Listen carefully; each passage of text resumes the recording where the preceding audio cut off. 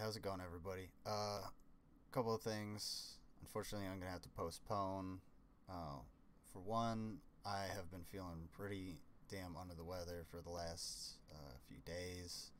Te- uh, scheduled a COVID test. Um, staying indoors.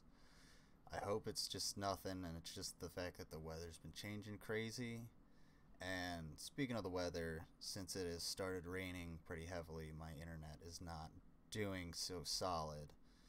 So instead of providing a bunch of choppy, uh, unreliable, low energy content, I think what I'm gonna do is I'm gonna take the night and try and try and get better and try and recoup and uh, drink a lot of water and get some rest and, and try and come back.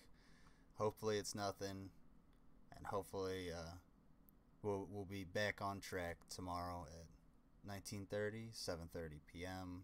Uh, to go ahead and maybe watch some chuds or just watch some cooking and maybe see some stuff blow up.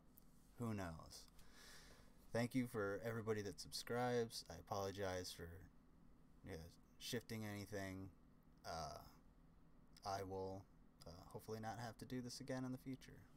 Thank you very much for watching, subscribing, and interacting. I appreciate you all.